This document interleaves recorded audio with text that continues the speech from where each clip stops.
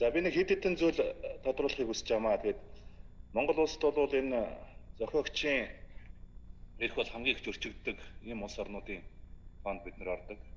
Гэр нь бол оюуны өмчийн хулгай бол бас газар авсан ийм л зохицуулалт муутай ийм улс орн болчиход байгаа шүү дээ бид нар чинь. Одоо наад зах нь ихтэл бид нар төр засгаас ахуулаад одоо Microsoft-ын лицензтэй програм хэрэгэлдэггүй хэрэгэлдэггүй юу? Энэ Монголын төрөл ажиллаж байгаа 192 мянган хүний хэрэгжилж байгаа энэ лицензтэй энэ програм лицензтэй лиценз өгөө гэж ганцхан асуултаа асуухч бид нар сөхрөнөлтөө энэ олон нэр хүндтэй компаниудын өмнө нэг хоёрд бол одоо яг жилд ер нь энэ Монголд энэ оюуны өмчийн хулгай нас болж одоо тодорхой зохиогч ирж байгаа хохирол гэдэг юм уу эдийн засгт ирж байгаа хохирол гэдэг юм уу энэ чиглэлээр одоо хийсэн ер нь судалгаа тооцоо энэ манай улсад байна. Бид нар одоо яг ямар боломжуудыг алдаж байна гэж хоёрт. За гуравдугаарт нь бол аа одоо ингээд энэ Facebook цахим орчны энэ оюуны хулгай маш их ихсэж байна гэж ярьж байна л да. Цахим орчны. Тэгэхээр энэ чиглэлээр одоо яг энэ орж ирж байгаа хуулийн зохицуулт дээр ямар хөө зохицуултууд орж байгаа вэ гэдэг зүйлүүдийг тодруулах гэж байна. Тэгээд дэмж тодруулна.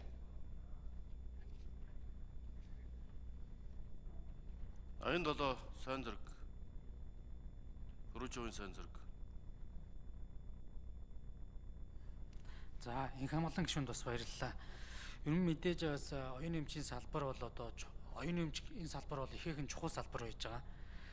За энэ дээр ажил төрийн өмчийн одоо патентыг хамгаалалт за эргээд энэ зохиогч буюу за одоо бидний хамгийн одоо энгийн ойлголтоор ном зохиол дуу хөгжимч гэдэг юм уу энэ зүйлүүдийг тойрвж байгаа этгээдүүдийн эрхийг хэрхэн яаж хамгаалах вэ гэдэг асуудал эргээд бас энэ эдийн засгийн суурь бүтцийг өөрчлөх буюу эдийн засгаа бас төрөлжүүлэн солонгоруулах энэ одоо асуудлын бас суурь нь байгаа даа.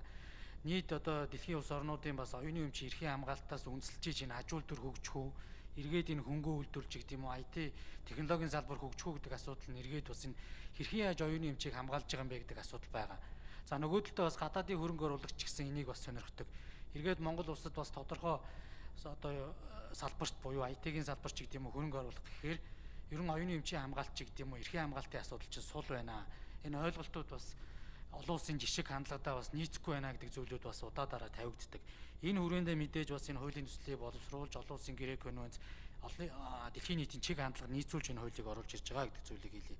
Мэдээж энэ хуулийг бас боловсруулах нэг үндэслэл бол таны хэлж байгаа энэ техник технологийн одоо энэ хөгжилтэй холбоотой байгаа. Энийг дагсан за энэ оюуны өмчийн бүтээлийг олон нийтэд хүргэх энэ олон одоо төрөлхийн үйл ажиллагаануудыг одоо хэрхэн яаж зохицуулах уу энээс үүсэж байгаа тэр эдийн засгийн үр өгөөжийг хэрхэн яаж хуваарлах уу гэдэг асуудлууд энд одоо эрхийн төрлүүдээрээс хамаарат нэлээд одоо зохицуултууд энд наривчилж орж ирж байгаа. За дээрэс нь мэдээж энэ оюуны эмчийн хохирлын хэмжээг одоо бол манай оюуны эмчийн газраас бас бас нэмгээд нэмэх бах.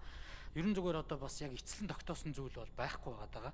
А хоёрдугаарт мэдээж энэ оюуны эмчийн бас гэмтэрэг зөрчлийг шийдэх. Цаашдаа ер нь оюуны эмчийг одоо эдийн засгийн хэрэглэлд оруулах нэг асуудал энэ хохирлын үнэлгээ буюу оюуны эмчийг үнэлэх асуудал манад бас тодорхойгүй явж ирж